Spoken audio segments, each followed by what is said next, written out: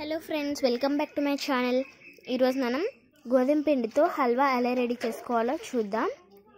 చూసారు కదా ఎంత కలర్ఫుల్గా ఉందో? ఇప్పుడు దీనికోసం మనం ముందుగా గోధుమ పిండిని డ్రైగా ఫ్రై చేసుకోవాలి.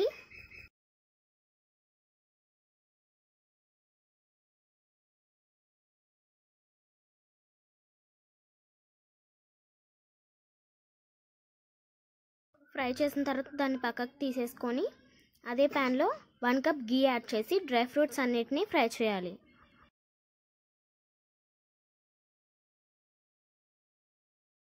డ్రై ఫ్రూట్స్ని కూడా ఫ్రై చేసిన తర్వాత దాంట్లో మనం ముందుగానే ఫ్రై చేసుకున్న గోధుమ పిండిని యాడ్ చేయాలి. ఇవి రెండింటిని బాగా గీలో ఫ్రై చేసిన తర్వాత వన్ కప్ హాట్ వాటర్ని యాడ్ చేసి మిక్స్ చేయాలి. లంప్స్ ఫామ్ అవ్వకుండా మనం దీన్ని మిక్స్ చేసుకోవాలి.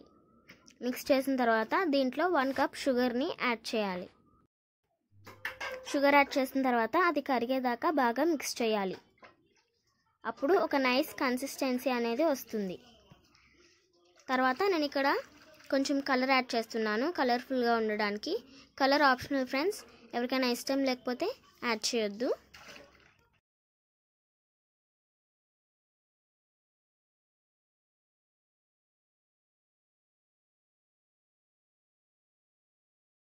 చూసారు కదా ఫ్రెండ్స్ ఎంత కలర్ఫుల్గా ఎంత టేస్టీగా ఉంటుందో? చాలా టేస్టీగా ఉంటుంది ఫ్రెండ్స్. ఇది మీరు కూడా ట్రై చేసి నాకు ఎలా ఉందో కామెంట్ సెక్షన్లో చెప్పండి. సో ఈ వీడియో కనుక మీకు నచ్చినట్లయితే please like share and comment చేయండి. నా ఛానల్ని సబ్స్క్రైబ్ చేసుకోండి. Thanks for watching friends.